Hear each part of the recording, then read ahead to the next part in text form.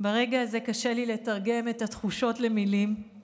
זהו יום של שמחה אינסופית על התיקון ההיסטורי שעשינו כאן בכנסת, אחרי 18 שנים של גירוש, הרס ורדיפת כל מי שרק ביקש לחזור לשטח היישובים שפונו לתקן את העוול.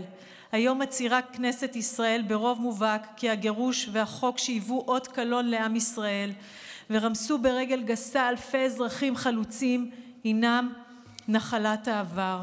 אני מודה לבורא עולם על הזכות להיות שותפה לתהליך התיקון הזה, אך למרות ההתרגשות והשמחה, אסור לנו לנוח על זרי הדפנה ולהינשא על גלי האופוריה.